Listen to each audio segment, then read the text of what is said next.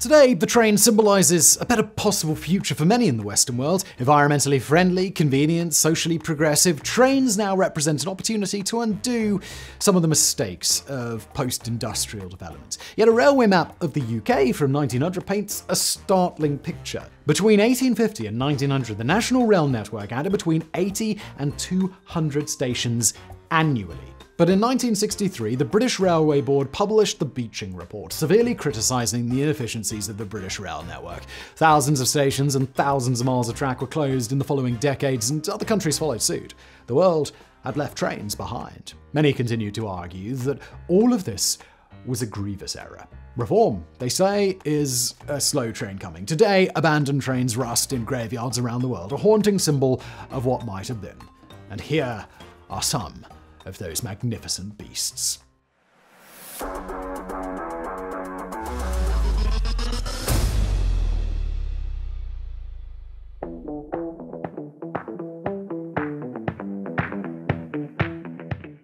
Looking like something out of a Fallout game rather than an actual means of transportation, this experimental Soviet turbojet train was one capable of cruising at 250 kilometers an hour, 160 miles per hour. Originally weighing 54 tons, the ER-22 was to power a new generation of high-speed trains. The project failed due to the extremely high cost of a gas-guzzling airplane engine. The concept was tested in the USA and France, but proved loud and exceedingly dangerous to people not on board the train. This and high maintenance costs of jet engines were the death of the ER-22. It sits abandoned outside Tver in Russia, a bizarre reminder of a more hopeful age. Yet there were other trains to try and adapt airplane propulsion for rail service. German inventor Otto Steinitz developed a turboprop-powered train in 1919, and Russia's own Aerowagon was developed by Valerian Abakovsky in 1921, and he and eight Confederates died testing it. Unsurprisingly, that concept didn't catch on.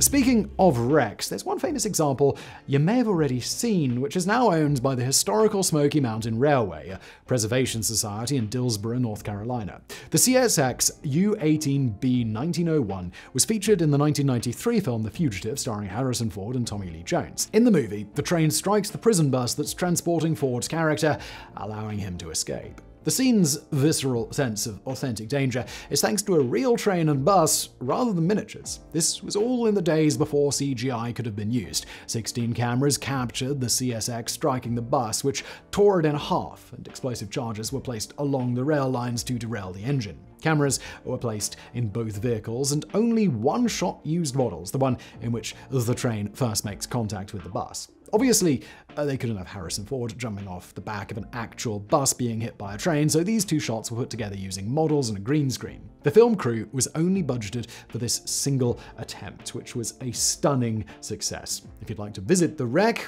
well, you absolutely can. The Preservation Society requested that it be left in place, and it's still a tourist destination to this day.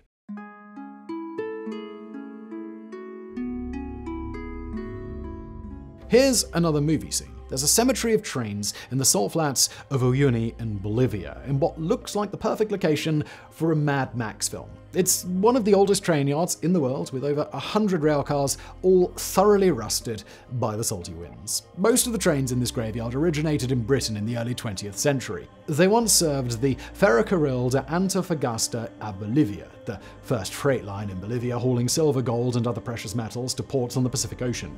A collapse of the local mining industry in the 1940s saw most freight trains consigned to this desert wasteland.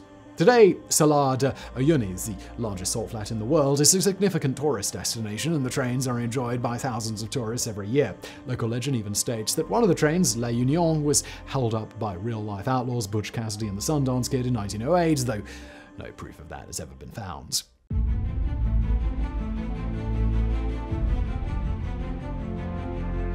If it exists, the famed Wałbrzych gold train or Nazi gold train would be a valuable find. Legend says that during the last months of World War II, the Nazis loaded an armored train full of gold and other plundered treasures in Breslau, now Wroclaw. its destination was Project Riese in the Owl Mountains. This was an unfinished system of tunnels and defensive works intended to serve as a final redoubt for Nazi Germany in western Poland under Książ Castle. While the complex is there, unfinished, most historians now now consider the story to be apocryphal. Many similar trains did exist and delivered Nazi treasures to secure locations throughout the Reich, but none seems to have gone missing. The Polish government scoured the warrens of Riese and they never found anything. Still, rumors continue to circulate of deathbed confessions and government leaks, continually generating media attention and inspiring urban explorers to enter the abandoned tunnels illegally in search of the 300 tons of Nazi gold said to be in there. A media sensation flared up again in 2016 when the owners of a mine exploration company got permission from the Polish State Railways to excavate a section of ground at kilometer 65 of the Wrocław-Wałbrzych rail spur. While there was some evidence of a potential collapsed tunnel, the digging halted when no rail tracks or sign of a train appeared. But it's all pretty good for the local economy. Of the whole affair, a spokesman for the mayor of the local town quoted in the New York Times saying, The publicity the town has gotten in the global media is worth around $200 million. Our annual budget for promotion is $380,000, so think about that. Whether the explorers find anything or not, the gold train has already arrived.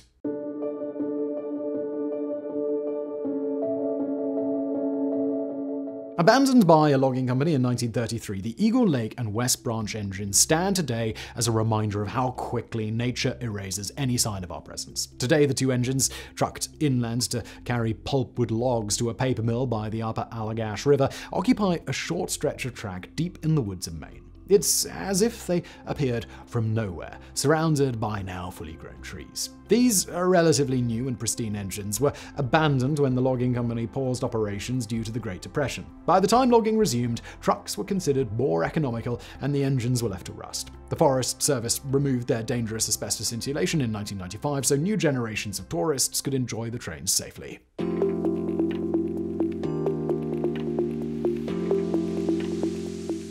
This old veteran still has a chance at another life. A GG1 General Electric designed by Donald Dohner and Raymond Loewy in the 1930s, this locomotive is one of only 139 originally produced. These beautiful Art Deco inspired trains once ran on the Penn Central, Conrail, and Amtrak systems.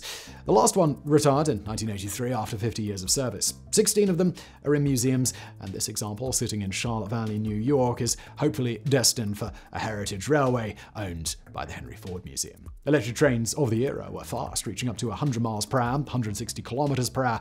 It was powered by 12 385 horsepower AC commutator motors, uh, which have higher torque and speed than induction motors. A steam heater from the locomotive warmed the train's passenger carriages. This was the type of engine which hauled Robert F. Kennedy's funeral train from Penn Station, New York to Washington, D.C.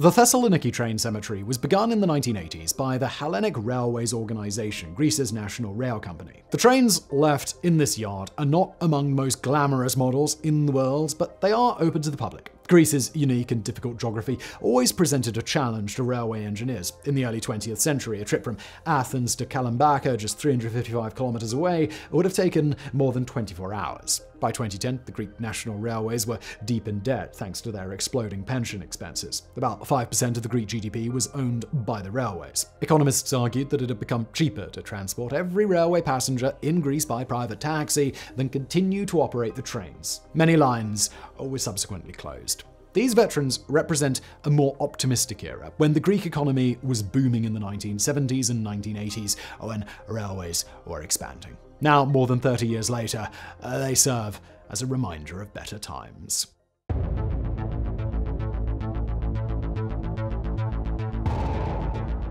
Here's a rail landmark you probably can't visit. It's the István train yard, also known to train spotters as the Red Star Graveyard. Sitting on a large plot outside of Budapest, Hungary, István is closed to the public. You'd need written permission from the government to visit, and that's probably because amongst the more than 100 locomotives and cars, there are said to be cattle cars and engines that once transported Jews, Roma, and Poles to the death camp at Auschwitz during the Second World War. Still visible at István are trains bearing the red star of Stalin's USSR. Soviet passenger tickets from the 1960s are said to be scattered about some of the newer cars in the yard.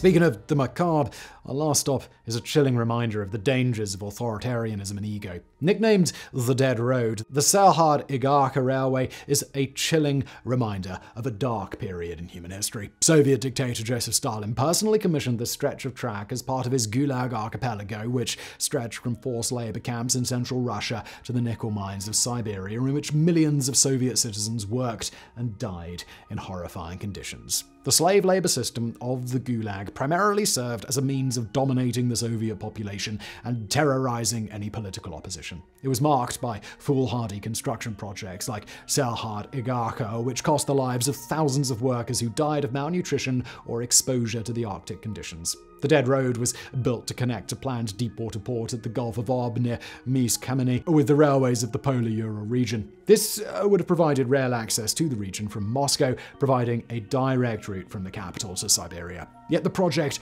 was a massive folly, marked by absurdity and death. After two years of construction, engineers discovered that the Gulf of Ob was too shallow for a deepwater port. So Stalin decided to extend the railway by land all the way to the city of Igarka, 906 miles, 1,459 kilometers away. A railway across permafrost is a stupendously bad idea. The frozen land shifts and flows over time, causing the lines to constantly bend back and forth, up and down, breaking just about everywhere. Where the tracks crossed rivers, cars were loaded onto ferries, and in winter, tracks would be laid across river ice.